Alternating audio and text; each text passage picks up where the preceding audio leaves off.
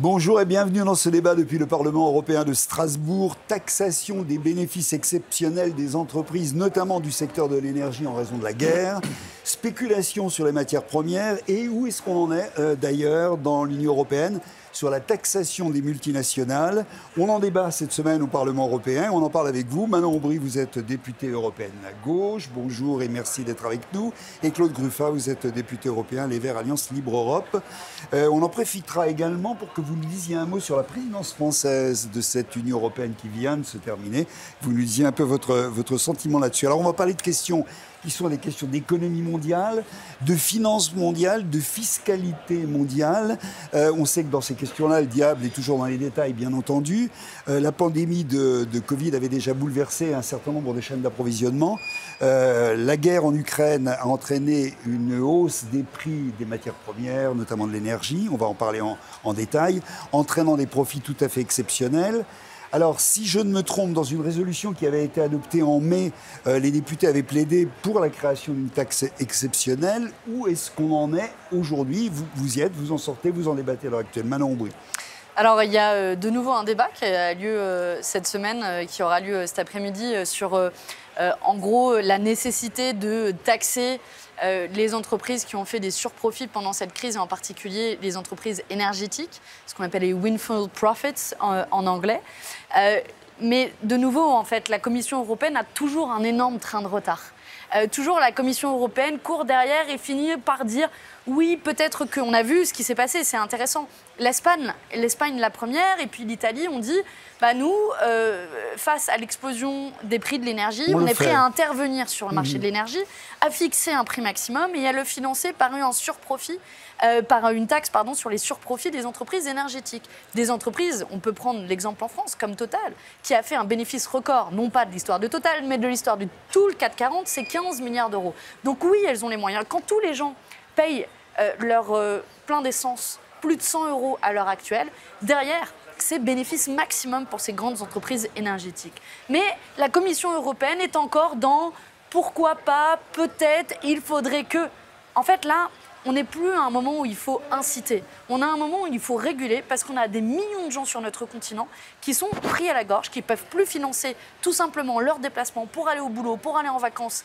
Et on peut intervenir et ça doit être le rôle de la Commission européenne qui refuse de prendre à, bras le corps cette responsabilité. Hmm.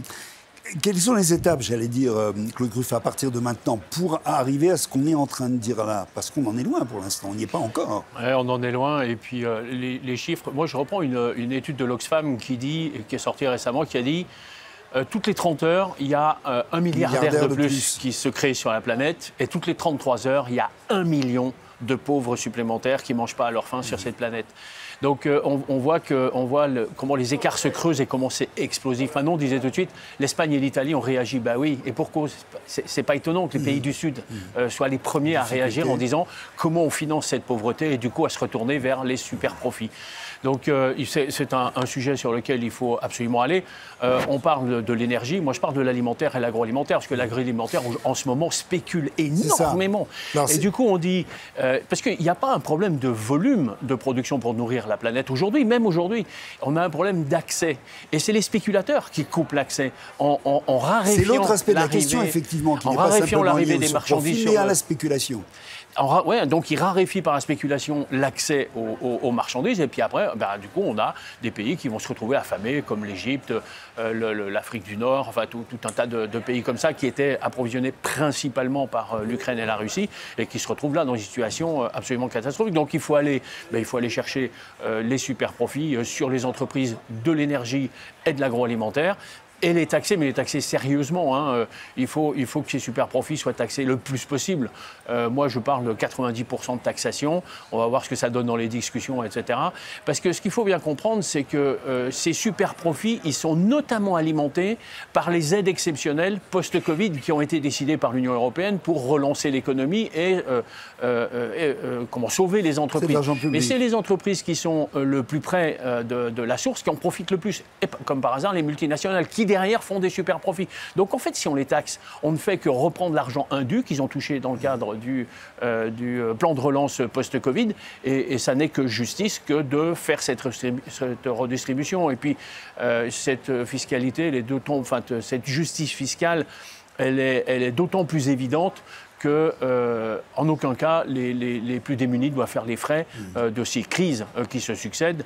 la guerre, on ne l'a pas fabriquée, il y en a un qui l'a provoquée. La spéculation, c'est toutes les multinationales qui la fabriquent. Mmh. L'Europe, Manon Brie, est la dimension au sein de laquelle cette question, ces questions qui sont des questions vraiment fondamentales, celles qui se posent aujourd'hui, doivent être posées. C'est L'Europe peut le faire, c'est la, bonne dimension à l'heure actuelle. La difficulté pour l'Europe d'agir sur les questions fiscales notamment, c'est le fait qu'elle décide à l'unanimité. Et c'est d'ailleurs une autre résolution euh, qu'on a votée On en cette parlera Dans, dans, deux minutes. Bah, j'anticipe peut-être un peu pour dire qu'il est question euh, de mettre en place un taux d'imposition minimum sur les entreprises au niveau européen qui nous semble, pour nous, très peu ambitieux, mais qui a le mérite de poser sur la table la nécessité d'arrêter le nivellement par le bas où petit à petit les entreprises sont de moins en moins taxées sous l'effet des paradis fiscaux européens. La difficulté, c'est que pour arriver à ce type de décision-là, il faut l'unanimité des États membres et donc l'accord de tous les États, y compris des paradis fiscaux d'ailleurs. Et d'autres États instrumentalisent ces questions pour les bloquer. C'est le cas euh, de la Hongrie et de la Pologne. Donc ça explique un peu la difficulté à agir sur les questions fiscales. Après, s'agissant euh, d'une taxe sur les surprofits, la Commission européenne pourrait en prendre l'initiative. Mais là aussi, elle se dédouane encore de sa responsabilité en disant il faut inciter, inciter, inciter. Moi, j'en ai marre en tant que citoyenne y compris pendant la crise du Covid où on m'a mis des règles hyper strictes.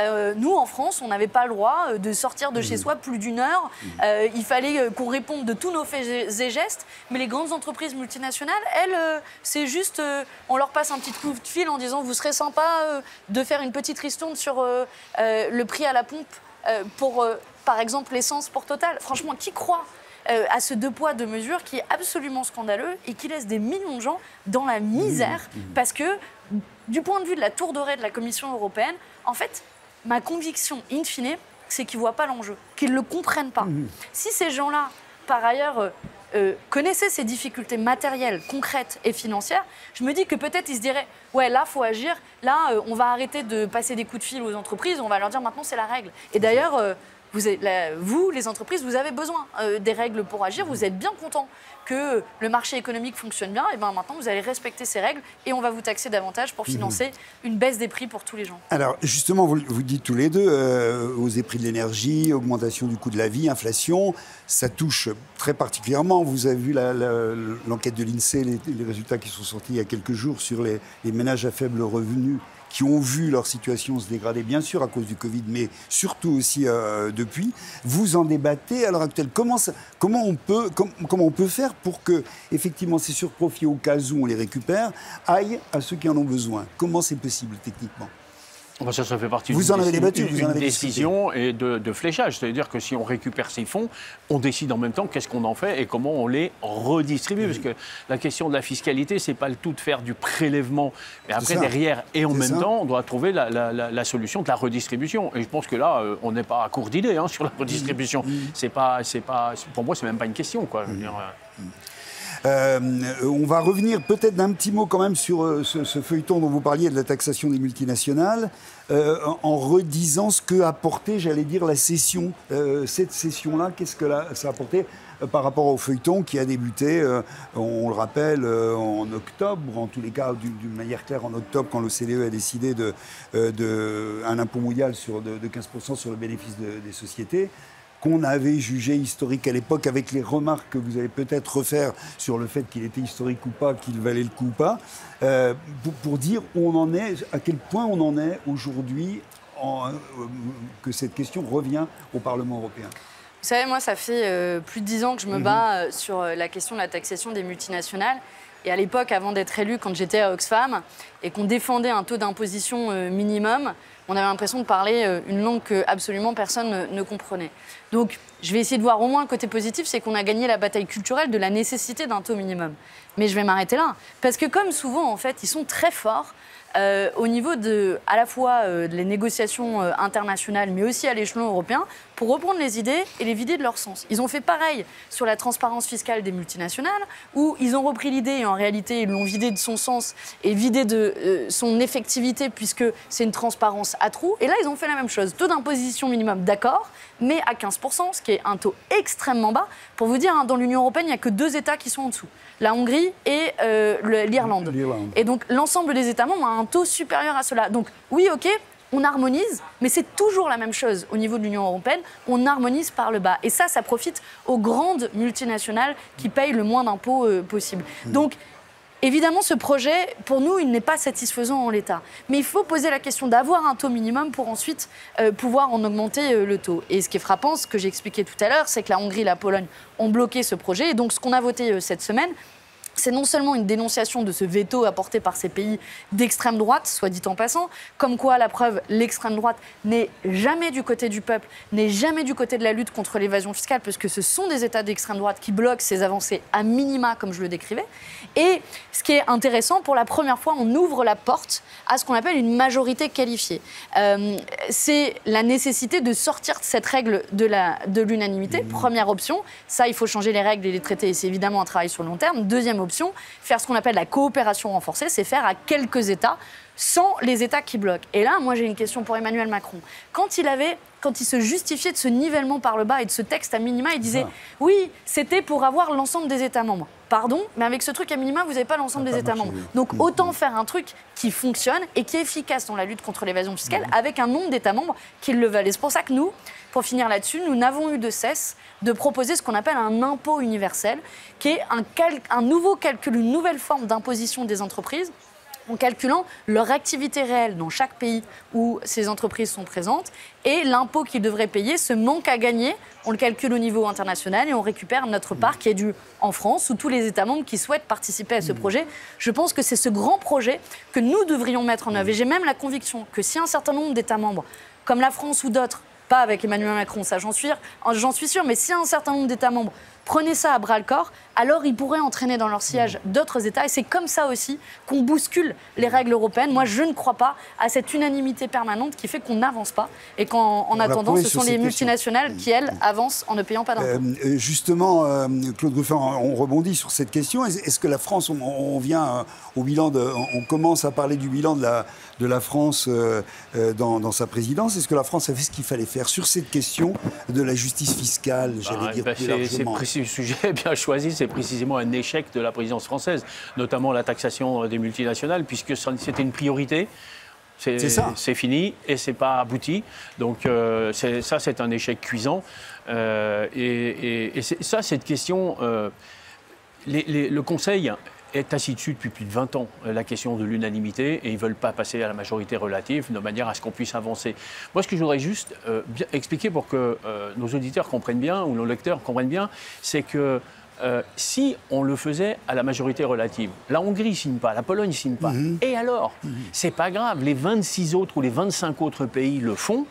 Et ce qui n'empêcherait pas aux multinationales hongroises ou polonaises d'être taxées sur les autres territoires européens sur lesquels elles sont implantées.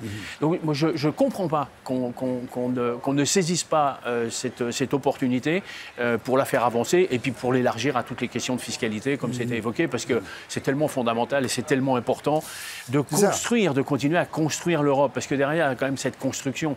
Si l'Europe est capable de lever euh, des taxes et des impôts pour se créer son propre budget, on va progressivement passer de l'Union européenne à la Fédération européenne et on va franchement passer là à, une, puissance européenne qui va prendre une autre dimension. Et, il faut, mais il faut lever ces questions. Si, si, si, on ne passe pas ce cap, euh, on, va, on va rester sur euh, une Europe qui va finir par, par vieillir et qui va plus se doter de ses outils nécessaires pour son, pour son avenir et son, son futur. On est en train de voter l'entrée de nouveaux pays. Il va falloir des ressources budgétaires complémentaires. Là, on est en train de patiner malheureusement et, et la France vu sa dimension, n'a pas joué son mmh. rôle sur ce sujet. Mmh. Et peut-être aussi de redonner de la crédibilité à l'Europe, euh, il faut le dire, qui n'est pas énorme à l'heure actuelle, pour la raison que vous expliquiez tout à l'heure, c'est-à-dire que l'argent qui va être récupéré, il va servir à, à, des besoins qui sont des besoins prégnants, réels, important à l'heure actuelle, lié à des questions, on parlait de la crise alimentaire, dans certains pays c'est le cas, on n'en est pas loin dans certaines catégories sociales aussi, dans des pays, dans des pays européens, qui se cumulent avec d'autres choses qui sont en train de nous arriver. On parle de sécheresse par exemple, on parle de cette, de cette crise qui est en train d'arriver de, de ce côté-ci. Donc il y a quand même un certain nombre d'indicateurs qui nous disent que tout ça va dans le mauvais sens et qu'il serait bien qu'il y ait un signal qui concerne un peu les gens, j'allais dire tout simplement. Oui, de nouveau, on voit à quel point l'Union européenne est souvent euh, déconnectée de la réalité des gens. Euh, moi, à chaque fois que j'entre dans l'hémicycle, je me dis, mais en fait, on a besoin de faire résonner la voix de, des millions de gens qui sont très loin de Bruxelles et qui se disent, OK, qu'est-ce qu'ils font là? Qu'est-ce qu'ils font euh, pendant la crise du Covid? Bon, les États, ils se battaient entre eux pour se voler des masques ou des respirateurs. Depuis, ok, ils ont fait un plan de relance au niveau européen, mais ils demandent des contreparties économiques, notamment la réforme des retraites dans le cas de la France. Et puis là, s'agissant de la crise que nous connaissons, la crise des prix, l'Union européenne va à tâtons, ne fait pas d'achat commun groupé pour essayer de faire baisser les prix parce que ces prix élevés, ils sont liés à de la spéculation, n'agit pas pour limiter les prix de l'autre côté pour euh, les citoyens et ça prouve, ça démontre la déconnexion de nouveau de l'Union européenne avec la majorité des citoyens. Mmh. Sur fond aussi d'accords internationaux commerciaux qui vont pas non plus dans le bon sens à l'heure actuelle. Exactement, avec l'accord avec la Nouvelle-Zélande, qui est le dernier accord. Euh, en fait, pendant la crise du Covid, on a un peu mis entre parenthèses certaines mauvaises habitudes. Les choses ont été gelées. Et là, ils se disent oh, il faut aller vite. Et donc, et vas-y qu'on signe un accord avec la Nouvelle-Zélande qui a été signé l'année dernière, euh, la semaine dernière, un accord de libre-échange pour que les gens se rendent bien compte. La Nouvelle-Zélande, on ne fait pas plus loin. C'est littéralement l'autre bout du monde. On va abaisser les barrières douanières. Donc, on va favoriser le commerce avec ce pays.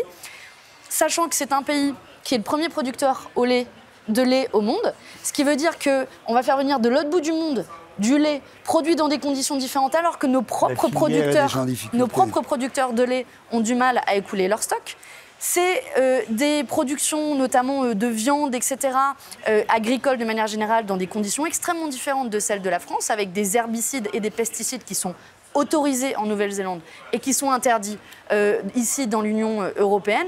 Et donc, c'est un suicide collectif mmh, mmh, mmh. de reprendre cette marche forcée euh, de signature d'accords de libre-échange. Et moi, je le dis clairement, et je sais que Claude sera d'accord avec moi, notre groupe de la gauche au Parlement européen, le groupe des Verts, on a toujours été extrêmement ferme sur notre refus de ces accords de libre-échange et on continuera à se battre dans cet hémicycle pour protéger nos industries et notre production européenne. Il en va de notre souveraineté, et il en va évidemment d'un enjeu climatique. On parlait de la nouvelle. Et, et c'est là qu'on peut faire le lien avec le paquet climat qu'on a voté à l'avant-dernière session sur euh, la question de la taxe carbone aux frontières, sur la question de l'arrêt des pesticides interdits euh, à l'intérieur de l'Union, mais importée, euh, la déforestation importée, toutes, les, toutes ces grandes questions euh, qui sont extrêmement importantes pour le climat, mais qui sont aussi tellement euh, concurrence déloyale pour les producteurs d'ici et qui donc mettent à mal notre propre souveraineté alimentaire. Mm. Donc c'est majeur mm. que ces questions-là avancent et quand on voit qu'aujourd'hui ici, on dit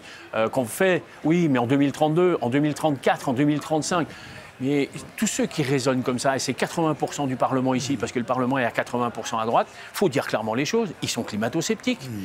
C'est l'économie d'abord, l'écologie après, et le social après. Mais ça veut dire qu'ils n'y croient pas. Un vrai problème de climat et, d'écologie qui est sérieusement mis en jeu, et très rapidement. Le GIEC n'arrête pas de nous le rappeler tous les 3 mois, 6 mois, en sortant des rapports euh, tous plus catastrophiques les uns que les autres sur les perspectives.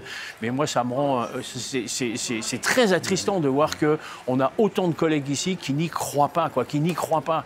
C'est dramatique pour. Euh, Dans la suite de ce que vous disiez, on parlait de la Nouvelle-Zélande tout à l'heure. Il y a eu également une résolution d'urgence sur le Brésil. Un mot sur cette, cette puisque ça touche à la question de la déforestation, bien entendu.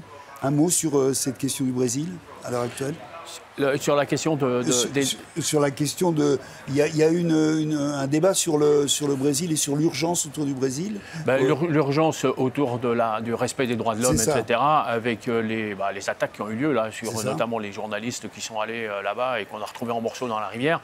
Euh, il faut... Lié au contexte dont vous parliez de déforestation, d'agriculture intensive, etc. C'est ça, et avec, avec les accords du Mercosur qui sont aussi en, filigrane derrière, encore un de plus par rapport à ce qu'on évoquait, qui, mmh. qui risque de reprendre du poil de la bête à la fin de l'année, puisque si Lula prend le pouvoir et qu'il gagne les élections, on risque, de fortement réentendre parler, avec tous les enjeux que ça a sur les peuples autochtones, sur évidemment l'écologie, la biodiversité locale. Mais il faut, se mettre en tête que quand on est face à la forêt amazonienne, c'est le poumon de la planète, c'est pas le poumon du Brésil. Donc on est tous concernés par, cette question et ces accords sont tellement climaticides que là, il va falloir encore monter au créneau sérieusement sur le sujet, bien sûr. Un mot, on avait dit qu'on en parlerait, Manon Ombry, sur le bilan de la présidence française. Qu'est-ce qu'on peut en dire? Beaucoup de mots et peu d'actes. Euh, on peut les prendre dans l'ordre.